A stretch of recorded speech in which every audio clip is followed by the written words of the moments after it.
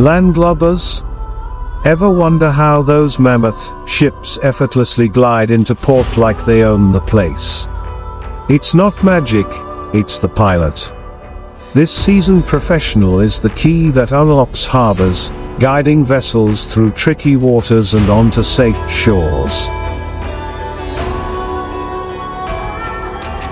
But this isn't just about docking a ship. It's about safety, efficiency, and preventing those oops, wrong turn moments that can turn paradise into pandemonium. One wrong maneuver, one missed current, and suddenly,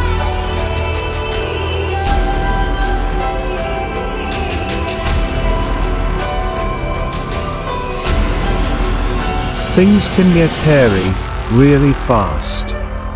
So join us as we peel back the layers of the pilot's world, exploring the knowledge, skills, and razor-sharp focus that makes them the ultimate harbor navigators.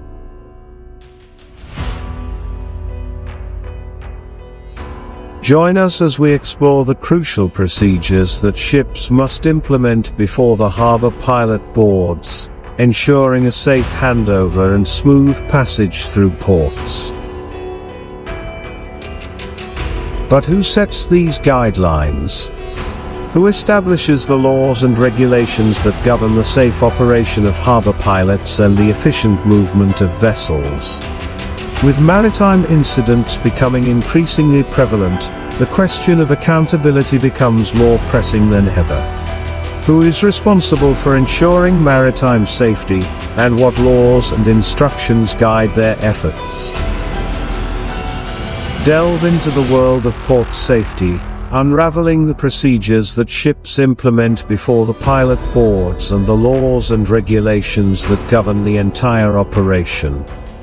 Shed light on the critical role of harbor pilots, the importance of pre-boarding procedures, and the role of maritime regulations in preventing accidents and fostering a safer maritime environment.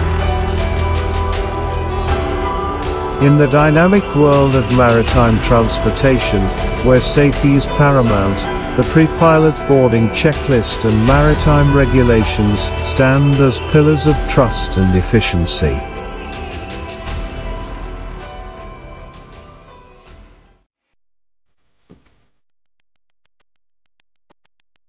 Before arrival, cargo ships set the stage for a smooth pilot welcome.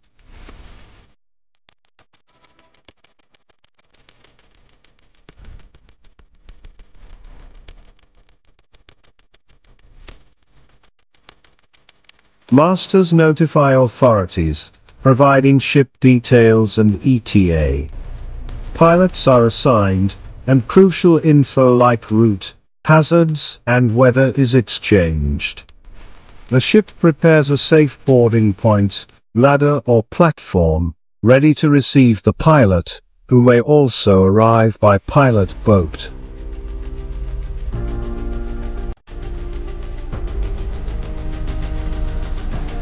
What happens before a marine pilot is welcomed aboard a ship? The ships must follow strict IMO and SOLAS Rules for pilot safety before welcoming aboard. Ladders, platforms, and weather limits are all checked. Additionally, organizations like IMPA offer extra guidance, ensuring pilots have the latest information. Protection clubs also share vital safety insights, keeping everyone on board informed.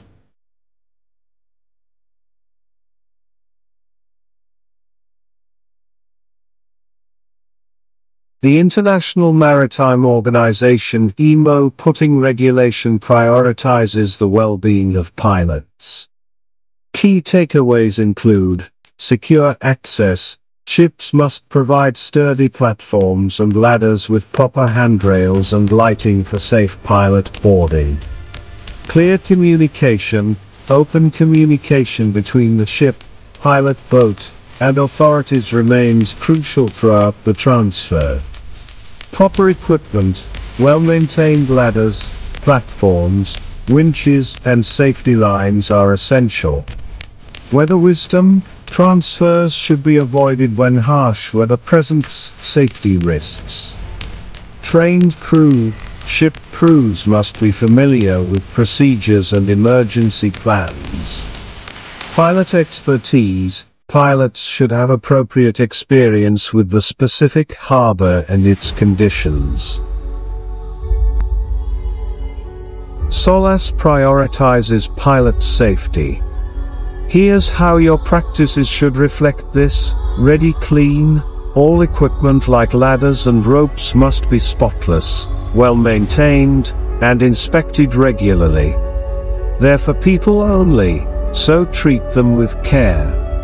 Supervise Connect, a responsible officer, with bridge communication, oversees setup and embarkation. They also ensure a safe pilot route to and from the bridge. Certified ladders, use only manufacturer certified or internationally recognized standard ladders. Keep them clearly marked for tracking, and record any repairs. Remember, every step matters. By following these guidelines, you prioritize pilot safety and ensure smooth, secure transfers.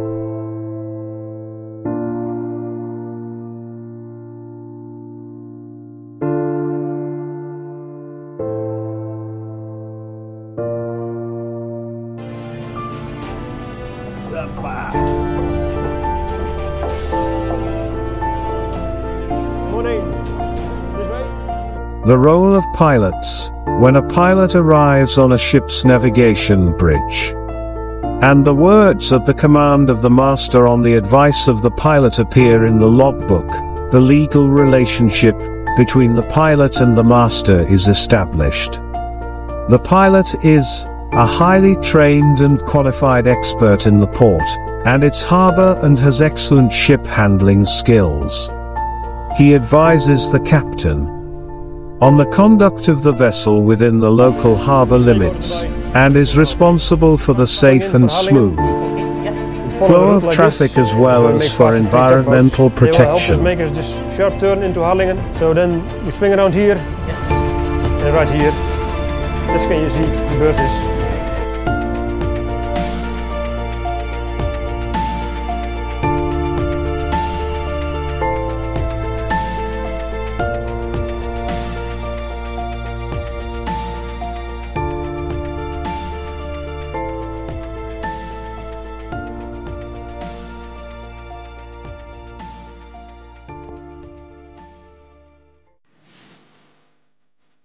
The common mistakes that can lead to accidents when marine pilots climb onto the ship. In this part, we will shed light on some of the common mistakes made by marine pilots while climbing onto the ship. This is indeed a deck tongue, also sometimes called a pilot ladder hook or boarding bar. It's used as a temporary attachment point for a pilot ladder when a pilot needs to board the ship. The International Maritime Organization and other maritime authorities strongly advise against using deck tongues due to several risks. The deck tongue can damage the pilot ladder, weakening its structure and compromising its safety. Improper bulwark setup puts pilots at risk. Tying the ladder directly strains the bulwark, risking failure under pilot weight. Loose ropes offer insecure attachment, susceptible to weather and movement. Platform placed over the securing area of the ladder. It's not recommended or considered safe for pilot boarding. Here's why. The platform blocks the view of the ladder and its connection points from the deck, making it difficult to assess if everything is properly secured and ready for use. This can lead to potential safety hazards if issues are missed. A spreader is a great invention to prevent a pilot ladder from twisting. Without a spreader, you might look at the horizon instead of the ship's side all of a sudden. How to get back in a good position when something like that happens. Therefore every ladder with more than 5 steps must have a spreader that is what a spreader is made for and not for keeping a ladder secured to strong points on deck, steps can handle 800 kilos and side ropes 2,400 kilos each. Non-compliant setup. The pictured setup is unsafe because the ladder is too far from the platform 0.2 meters and likely at a steep angle 45 degrees. IMO A.1045-27 specifies requirements for the platform, stanchions, and handrails for safe transfer. Embarkation platforms, ship side platforms offering safe boarding disembarking, especially with high freeboard. IMO rules, minimum requirements set by SOLAS for platform use in pilot transfers. Platform build, strong, secure, supporting pilot and equipment weight. The pilot ladder winch reel IMO rules on winch placement, unobstructed access, winch position should allow safe climbing without hitting it. The pictured setup is unsafe climbing leads you straight onto the winch. Entry point, access can be through a ship opening, ladder, or single pilot ladder section. This setup forces a sideways step to the deck, another potential hazard. High freeboard, if a spreader horizontal beam blocks access due to a high freeboard, the winch must be relocated to avoid obstructions. Shackles. False friends for pilot ladders The brutal truth. Shackles twist and weaken ropes, compromising the ladder's strength. Underweight, the ladder bypasses the ropes, relying on weaker parts, like skipping leg day. Impact danger, a collision with a pilot launch could snap the weakened ladder, risking lives. Why use them? Convenience, surprisingly, and legal loopholes. But convenience shouldn't cost lives. Ditch the shackles. Choose proper methods, respect pilot safety, and prioritize regulations. Share this, spread the word, and prioritize safety.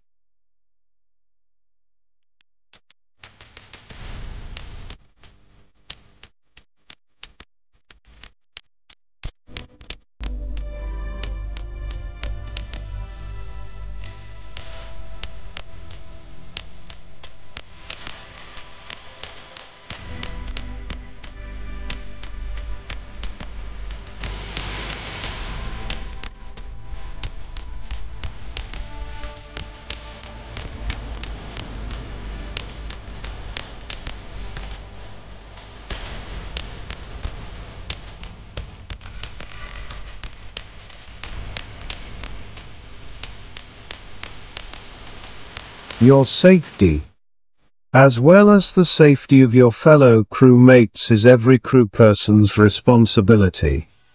The same responsibilities apply to those visiting your vessel, including marine pilots.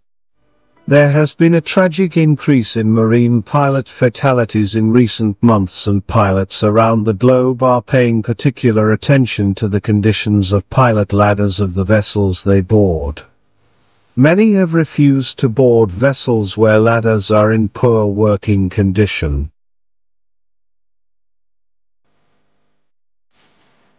SOLAS Regulation Pilot transfer arrangements set forth the standards and requirements for boarding arrangements, responsibility of ship's personnel in rigging pilot transfer equipment, associated pilot transfer equipment, clear access and lighting.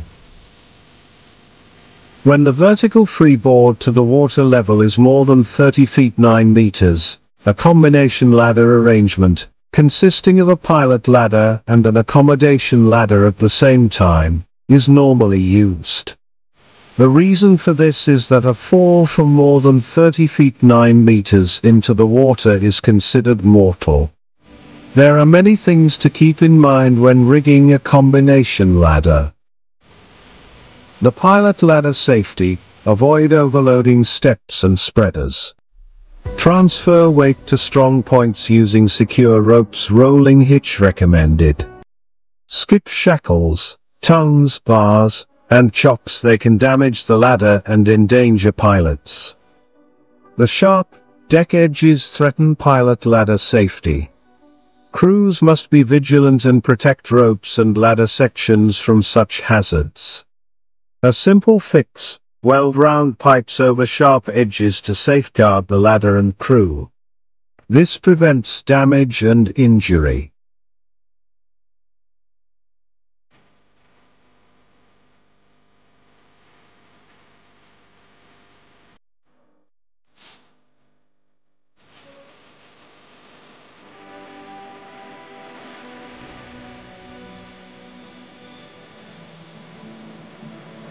To embark and disembark from a ship, you transfer from the pilot boat using a pilot transfer arrangement consisting of a pilot ladder and an accommodation ladder, depending on the height to be reached.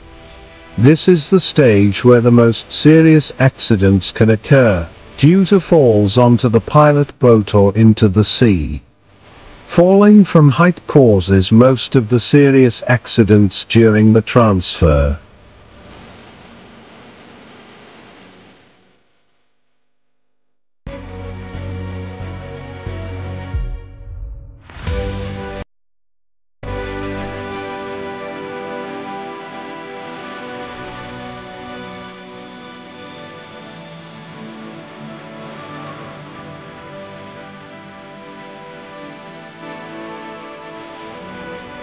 To focus on the consequences of falling from heights. Falling from height can be caused by slipping, letting go, a broken ladder, or loss of balance.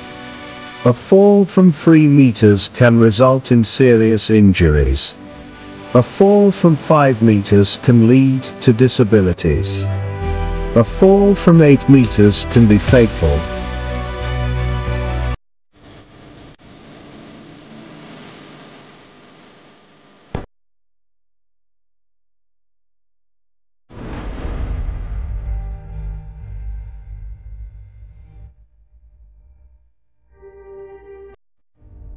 Whenever, a pilot or other person embarks or disembarks from a ship by ladder, they entrust their safety to the pilot transfer arrangements provided by the ship and the pilot boat crew. For that reason, we must be following the rules as per IMO. SOLAS. ISM code, ISO 799-1.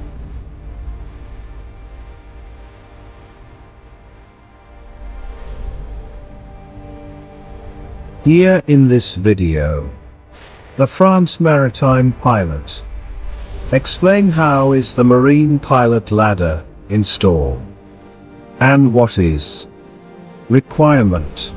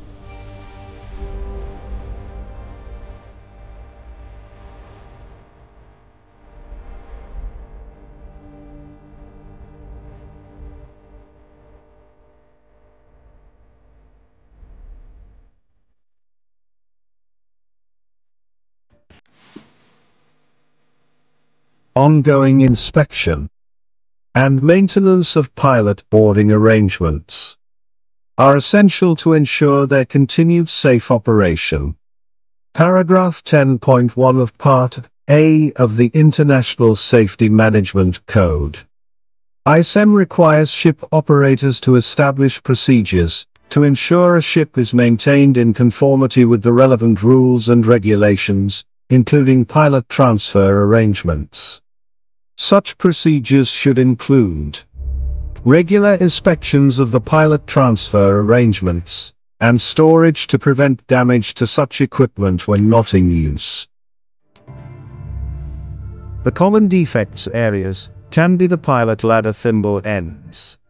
Another common area is the frayed or damaged side ropes. These should be detected during routine visual inspections. If side ropes are frayed or degraded, the ladder should not be used. The man ropes used as part of the arrangements should also be regularly inspected. There have been two recent incidents of man ropes parting during transfer operations. Though rope type is not specified in SOLAS these should be tagged and included in onboard inspection and maintenance procedures, good practice dictates these should be removed from service, at the same intervals of not more than 30 months, or sooner if required. Trap door arrangements and use of combinations ladder. There has been an increase in ships fitted with trapdoor arrangements. The additional requirement for their use is that the pilot ladder and man ropes shall be rigged through the trapdoor extending above the platform to the height of the handrail. If the pilot ladder and man ropes are not rigged through the trapdoor, this creates an unsafe arrangement for persons.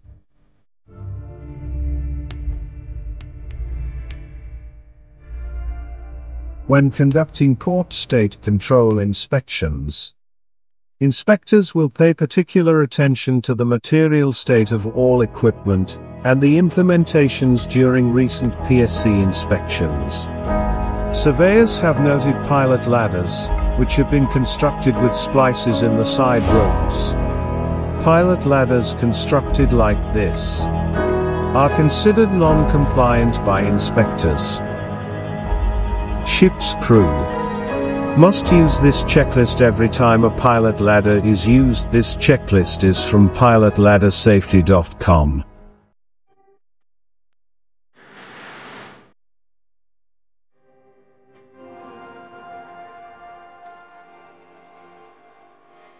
Gentlemen's, while the pilot guides the ship, the crew holds the lifeline, their sharp eyes see every snagged line. And their swift hands secure every ladder rung. From briefing to a safe landing. Teamwork is the ultimate shield. Remember, a vigilant crew is a pilot's strongest compass, steering everyone home safe and sound.